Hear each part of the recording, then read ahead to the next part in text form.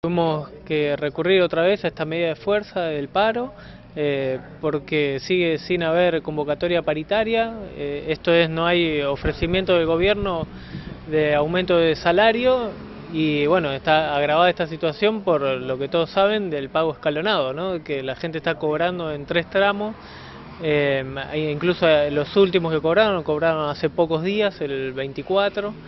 Eh, y bueno, y para este mes eh, se plantea la misma situación, sumado a, como decía antes, que no hay convocatoria paritaria de ningún tipo, en otros lugares se han sentado los sindicatos, en otras provincias, pero en Chubut no, no lisa y llanamente no hay diálogo entre el gobierno y el sindicato a nivel provincial, con lo cual eh, estamos estirando el sueldo porque la inflación aumentó y el último aumento que hemos tenido fue en julio del 2017.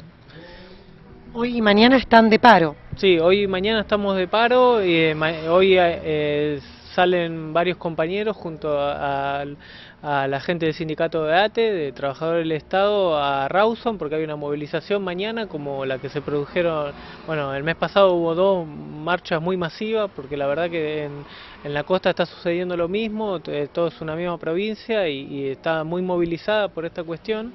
Eh, así que hoy vamos a estar acá, hay una olla popular ahora, a las 12 hay una marcha y esta noche estamos viajando para Rawson, donde mañana se está convocando a una, a una marcha perdón, masiva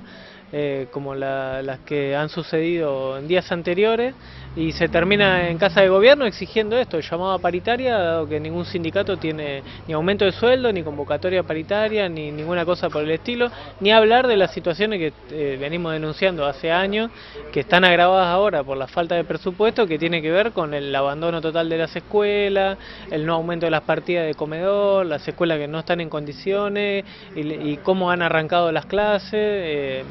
situaciones muy de nada, precarias, de mucha precariedad, no hay inversión en las escuelas y es algo que se vive todos los días y torna muy compleja la realidad del día del día de las escuelas, ¿no?